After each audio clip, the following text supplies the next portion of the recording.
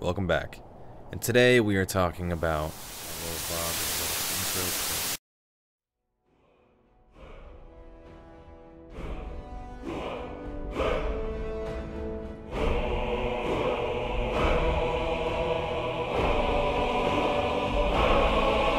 What's going on guys? And today we cover Elder Scrolls lore.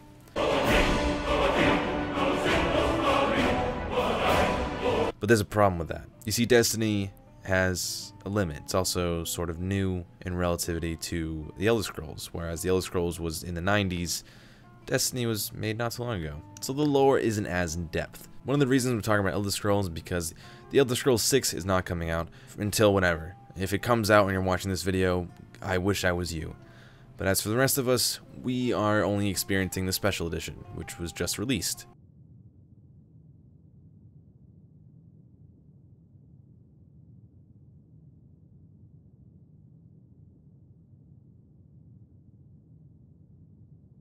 But that doesn't matter. Skyrim is an amazing game full of rich lore to uncover and tell you. But where do I start?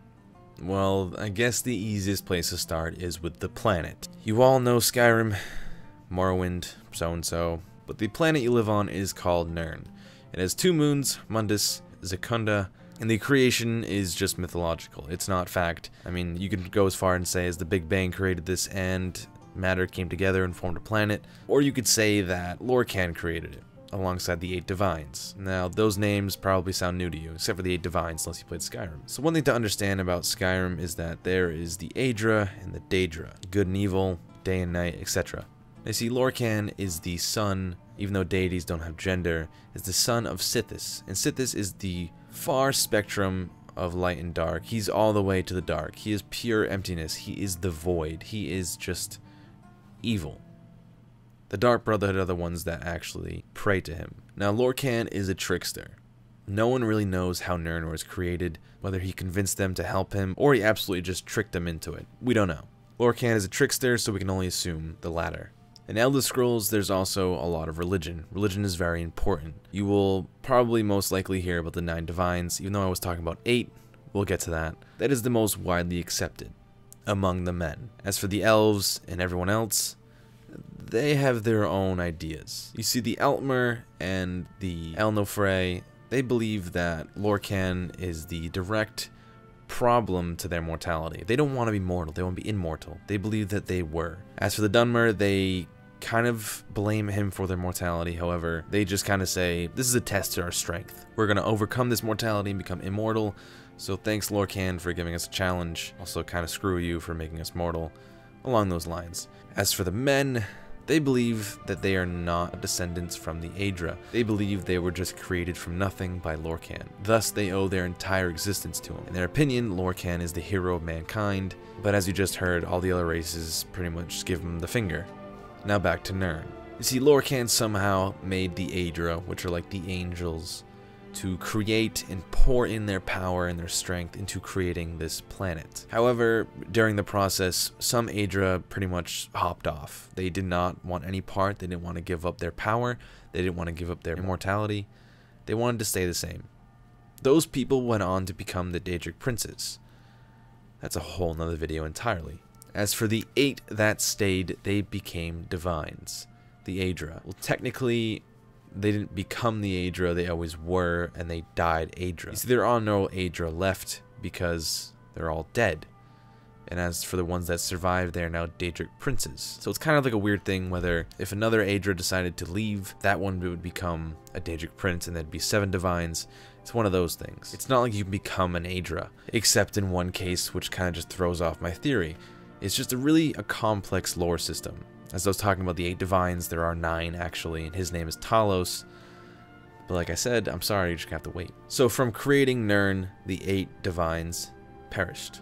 Some believe they have ascended to a higher power. That's up for interpretation. As for Lorkhan, he also died as well. As such, he did not have much influence over any of the events to come. However, he is indirectly responsible for at least three major near disasters in the last decades of the Third Era. And his remains are connected to the disappearance of the Dwemer. The Dwemer are the dwarves, the super technologically advanced people that we've never seen. We've only seen the robots. If you heard closely, you'll notice that I said the third era. That is because the eras are divided to fourths. We live in the fourth one. Why say we? Skyrim is in the fourth one. And as for the mythological that I was talking about, that is the first. Even prehistoric, probably before that. And I'll go in the depth of each era in different videos, however, I can tell you the lengths of each one. The first era lasted 2,920 years, the longest of all the ages, and possibly one of the richest in lore. The second era was only 897 years, the third era was just a mere 433, and as for the fourth era, we are currently only in the 201st year. That is the last known piece of lore that has happened. However, there is a fifth age, and there is a little bit of it in a certain lore. You see, the Fifth Era has not occurred in any Elder Scrolls game, however, it did appear in the events of Landfall, in which Tiber Septim activated the Numidium and fought the Altmer. Whether that will come, I have no idea. But that's enough about Nirn, let's talk about the Divines. You see, the Nine Divines are the most widely accepted religion among the entire continent of Tamriel mostly because of Cyrodiil and they're an empire that spread across the entire continent. Now you'll see a lot of the Nine Divines because of Skyrim. The Skyrim is a part of the Cyrodiil Empire, so it's kind of supposed to be in the Nine Divines. Now, I was talking about the Eight Divines, and that's because the Ninth Divine was actually a person and was raised to the power of the Aedra through his action. His name is Talos. He's the hero god of mankind, god of might, honor, state, law, war, and governance. You say he's got a lot on his plate, and he did a lot. So much so that he did so much you can actually make an entire video about him. When will that come? I don't know, you're just gonna have to subscribe for that. But we can talk about each individual other divine. There's Akatosh, there's Arkay, Dibella, Julianos, Kynareth, Mara, Stendarr, and Zenithar. Akatosh is the chief of all the other gods and goddesses. He is the dragon god of time. Arkay is the god of the cycle of life and death. Dibella is the goddess of beauty, as seen by her statues that you probably picked up and twirled around. Julianos is the god of wisdom and logic. Kynareth is the goddess of air. Mara, the goddess of love, as you have to obtain her necklace in order to marry. Stendarr is the god of mercy. And Zenithar is the god of work and commerce. He's also known as the trader god. Now, how did these eight divines come to be? Well, there's one name that you could stand back to, and that is Alessia. Now, Alessia, also known as the Slave Queen, was hailed as a saint. She lived during the First Era and was responsible for ending the human enslavement by the Ayleids. Now, the Ayleids are simply just elves, just a prehistoric one, the original elves. She is the one who found the Cyrodiilic Empire and became the first Empress of Cyrodiil, initiated worship of the Eight Divines. But Alessia is the one that allowed the religion to prosper. If you caught that, you are correct. There was human enslavement, and the men were not the top dog. Some argue to say that they aren't still. Now, in the light of the Skyrim Special Edition, the First Era year 113, the Nordic king Harald had conquered Skyrim and founded the first human kingdom of the continent of Tamriel. Harald managed to drive the elves out completely, primarily into Cyrodiil and Morrowind, which is where they continued to stay and the human slaves saw the possibility to do the same on their own rulers. During this time, the men didn't just gain all this power, the Ayleid, or the elves, government was severely fractured. They were all in separate kingdoms spread across the entire continent, and they constantly fought each other. Meanwhile, the slaves, or the men, got power strong enough to defeat some fractures of this government. More exact location, they decided to attack the land of Skyrim. By driving out the elves, they decided to set up camp and stay in the north, and that is how we have the Nords. But that's not when Alessia actually fully came into power. So she was just still growing up at the time. She started around the year 242, where Alessia's rebel army finally struck out their masters. Alessia herself had often had intercede with the divines on his behalf. Now, the king of the Ayleids at the time was Umaril, and the Ayleids noticed how the men were obtaining power back. So he was given control of the Ayleid armies. Now, Umaril was of divine bloodline.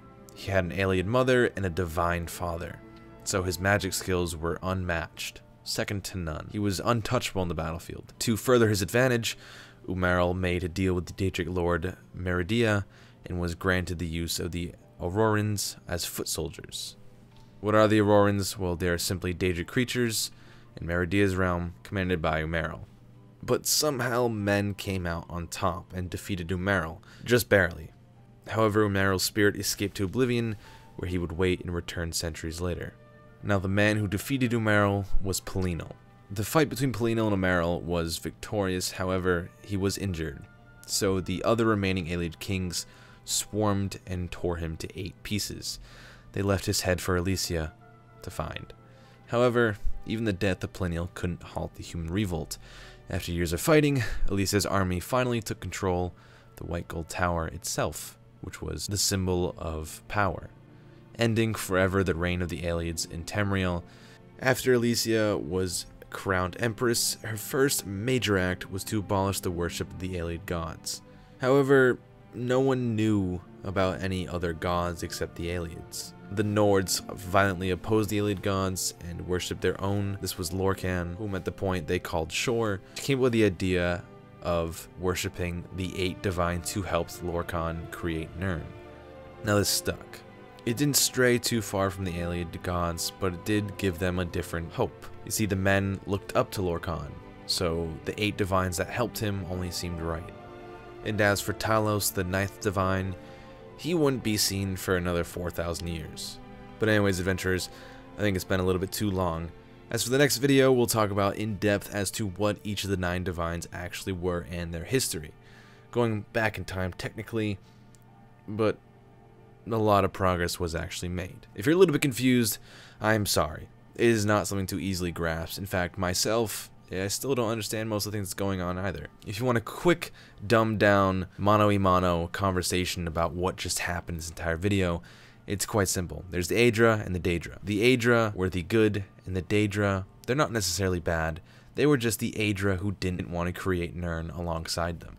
As to how we became to worship the Eight Divine, that is through Alessia, the whole rebellion against the Ayleids, or the Elves, in overthrowing their masters because they were slaves at the time.